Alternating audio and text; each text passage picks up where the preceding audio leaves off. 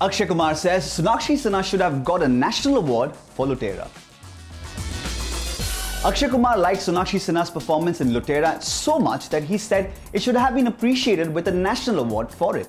Akshay, who has acted with Sinha in movies like Rowdy Rathore, Once Upon a Time in Mumbai Dobara, says she was a brilliant actor in Lootera.